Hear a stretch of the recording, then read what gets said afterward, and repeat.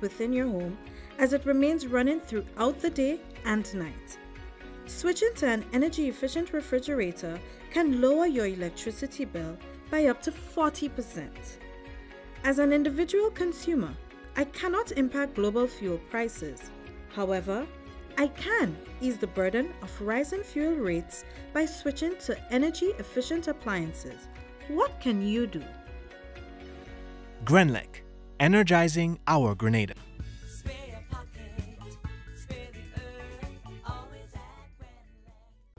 With the details to the news for Friday, 16th September 2022, I am Abigail McIntyre. The government of Grenada has commenced preparations for the national budget for the fiscal year 2023, which will be presented in Parliament later this year. A series of sectoral consultations and public town hall meetings is being organized under the theme Your Budget, Your Voice Matters. To encourage maximum participation, the Ministry of Finance is engaging stakeholder and sectoral groups and individuals at the parish and national levels. The consultations will provide an overview of Grenada's economic performance for 2022 and the strategic focus of the 2023 budget. It will also explain the budget preparation process and solicit views on specific sectoral issues and priorities that the 2023 budget should address.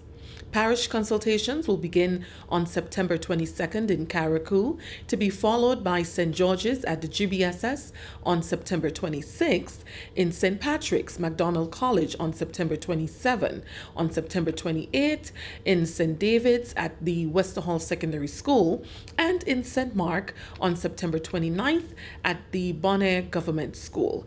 In October, consultations will be held in St. Andrew on 3rd October at the Grenville Secondary School and at St. John's Anglican the following day. The National Consolidated Consultations will bring the curtains down with a virtual engagement on October 5th featuring presentations from various stakeholders on issues put forward for inclusion in the 2023 budget, followed by an open discussion. The sister isle of Petite Martinique now has a 240 kilowatt generator. Due to the growing number of residents on the island, the previous unit was unable to meet the demand of all customers. This new 240 kilowatt engine will replace the 160 kilowatt Cummins engine that has served the island for years. On Tuesday, a planned outage took place on the sister isle to make way for better service. Grenlec's manager in Carriacou, Petite Martinique, Wallace Collins, said the new unit is reliable and will provide better service to the people. Over the years, we've been having some challenge with the size, the size of the, of the unit. It was a smaller unit, and as a result of the continuous growth on the island, it has become basically obsolete. And so it's sometimes difficult to have the plant running um, with the smaller unit with the increased load. He said it was felt that it was important for us to invest in a, a bigger unit for the Petite Martinique, and so that certainly will improve on the reliability of the plant in, in, in Petite Martinique. I'm actually really impressed with the quality of work that the, the Petite Martinique team has done here. I mean, it's not strange to us. I mean, the provide similar support to us in the Carriacou um, plants. Plant supervisor at the Petite Martinique branch, Stephen Logan, explained what was done to get the new generator up and running. From last week, Monday, we started by um, removing the old genset, which is the Cummins, and um, we did some fabrication of the exhaust system. We also fabricated a new shroud for the new engine. Um, we also reroute um, cables and so forth. The purpose of the change of the new engine is to um, build capacity um, because of the issues we have with the old genset where we have to get it online, we have to um, isolate um, different villages. The plant supervisor thanked the customers for being patient during the installation process.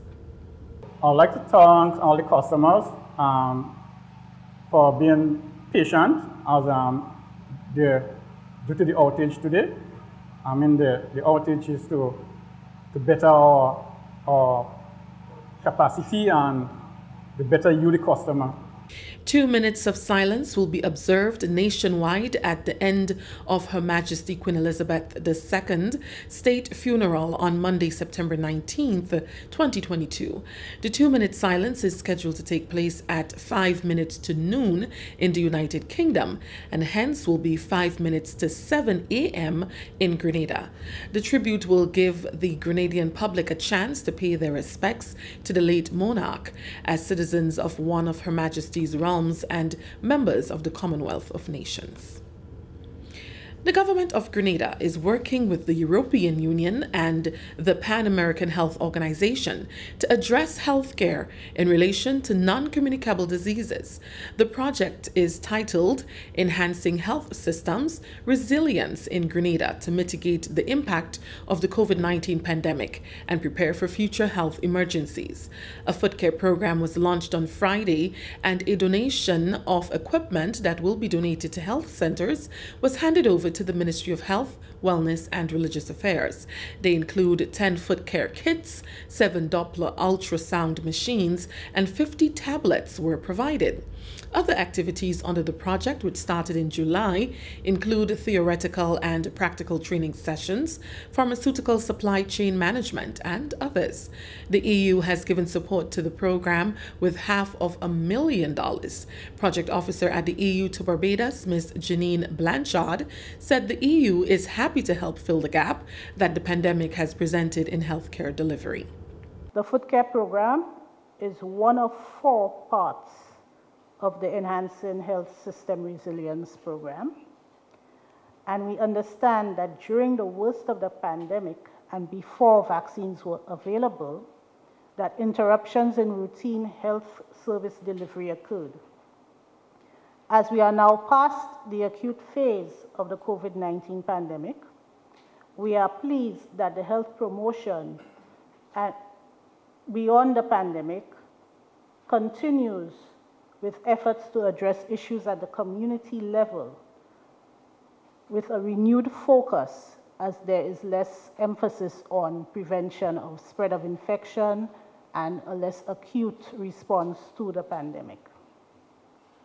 The foot care program aims to ensure that the foot health related to chronic conditions such as hypertension and circulatory problems can be monitored in places where persons being served are comfortable. Ms. Fiona Anthony is PAHO's program specialist in Grenada. She said the organization is always delighted to assist the healthcare sector in Grenada. We are therefore pleased to collaborate with the Ministry of Health, Wellness and Religious Affairs and the European Union on this most relevant training as the Ministry of Health, Wellness and Religious Affairs seeks to address anecdotal reports of rising prevalence of secondary complications of chronic diseases in patients with reduced utilization of the healthcare services during COVID-19. Permanent Secretary in the Ministry of Health, Wellness and Religious Affairs, Ms. Naomi Jeremiah, said through training and other initiatives, health teams across the Tri Island state will be strengthened. Today I'm indeed happy and pledge, I extend my congratulations to a job well done by the Ministry of Health for making this initiative here a grand success. I would like to urge the population to note that the Ministry of Health mandate for this new 2023 era 22-25 is revitalizing, energizing the primary health teams and community involvement so this other foot care program will be part of the education that will be going around, empowering the community, empowering people, and letting everybody be involved in such knowledge so that we can have a healthy Grenada where we can put amputation out of the states of our tri-island. This is the National Report. More news after the break. Prepare for hurricane. Make sure you have your radio and your batteries too. Waterproof flashlight candles will do. Tin stuff, garbage bag, first aid kit. Come on, people, make sure you have it. Clean water in a container and a hurricane plan. Hear me, no man. Hurricane damage is beyond your control. Surviving the aftermath is up to you. Have a hurricane plan. It can save your life and your family too. Prepare for hurricane. Your hair, prepare for hurricane. Welcome back. It's being described as a bigger plan for smaller contractors and builders in the construction industry. Prime Minister Honorable Dickon Mitchell wants to see smaller contractors forming themselves into associations and cooperatives to increase their chances of bidding for bigger projects on the island. To get them started, Prime Minister Mitchell used the open house event on Tuesday at the Low Income Housing Project in Corinth as an opportunity to start creating a database of skilled persons in the industry. This will ensure that government has a contact list of persons they can call when the need arises. The Grenadian leader also wants to provide the training needed to improve their skills. One of the things I hear some of the bigger contractors talking about is not having sufficient skilled persons. So if we are able to have a list of all the contractors here, the senior ones, the mid-range ones, the young ones, then it's an opportunity for us to look for training opportunities for, for you. It's an opportunity for us to shape policy. And I'll give an example. For the large hotel projects that are taking place, I'm sure you're aware that we are importing hundreds of skilled and semi-skilled laborers, and there's high rates of unemployment in Grenada. So there's no policy in place right now that says that for every five imported laborer, you need to match and train five Grenadians. But if I don't have the names of trainees or the names of helpers, I can't go and argue and shout for people that I don't know. I don't know how to contact. I can't say to someone, well, I have 10 trainees in St. David's or 10 helpers. I want them to go from being helpers to being skilled carpenters or skilled tilers or skilled finishers. And these are the names, these are the contact numbers, and be able to call them and say to whoever developer that's coming in that for every 10 person from Dominican Republic or wherever you're bringing them from, Spain or wherever, there has to be 10 Grenadians, and these are the 10 Grenadians. And we need to understand that as a country, if we don't have data about ourselves, if we can't find each other, if we can't reach each other when the need arises, then the development will pass us by, and then we'll be arguing and complaining about people coming from wherever, wherever, and they're taking everything. PM Mitchell says by pooling together as partners, small contractors would be able to land the big projects, but he insists they must see the value in coming together. The days are sitting in the back of the church, sitting in the back of the hall, always standing up in the back, and I notice we have a lot of that here. If all you want this country to move forward, you all need to step forward and move forward. So I can't jump up and down and fight for you all. And when I turn around, it's me alone in front fighting. Right? So you can't general and you're an army. So I'm saying for the contractors in particular, and I'm making this point because it's not just about house repairs. There are all kinds of companies that come into Grenada and get major infrastructural work. And for the life of me, I don't understand why Grenadian contractors don't pull more together don't form construction cooperatives, don't form, uh, form joint venture construction companies and bid for and get the big government projects. This government is open to Grenadian contractors, but I can only say so much. If you all don't want to organize, put all yourself together and come and bid and get the big projects, don't blame this Mitchell. Another area being looked at by the government is changing the minimum wage to ensure workers receive the appropriate pay for their labor. Plans are in train to build a music lab in Carriacou for use by students on the island. It's a project of the Division of Culture aimed at taking the music sector in Carriacou and Petite Martinique to another level. If this becomes a reality, it will be the third music lab established in schools. The first was at Macdonald College in St. Patrick, and the second at the St. Andrew Anglican Secondary School in St. Andrew. Chief Cultural Officer Adrian Mark says the lab would be multifaceted. Among others, students will learn how to produce music. Within the lab, we have a music studio. So it's not a music studio. No, if you understand what is a lab.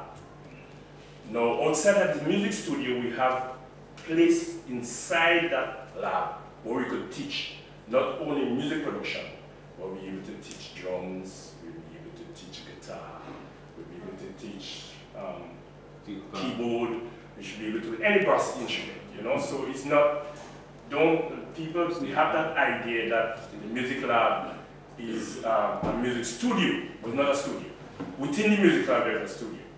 But the program that we'll be teaching we're concentrating on totally in that lab will be music production for now. But the lab will entail everything else. That's a lab. When you come into a lab, you should be able to learn to play a keyboard. You should be able to learn to play a guitar. You should be able to learn to produce. Mr. Mark is part of a visiting team from the Division of Culture, which includes Permanent Secretary with Responsibility for Youth, Sports and Culture, Norman Gilbert. It is led by Minister, the Honorable Ron Redhead. Minister for Carriacou Petite Martinique Affairs and Local Government, the Honorable Tevin Andrews, is pleased that the Sister Isles are receiving their fair share of the pie as it relates to development projects in culture. Whatever is taking place on mainland should equally take place Carriacou. So I'm happy to know that it has already started. That there are music schools in Grenada, should have a music school in Carriacou. And of course, well, we're here to have a discussion in terms of uh, possible venue.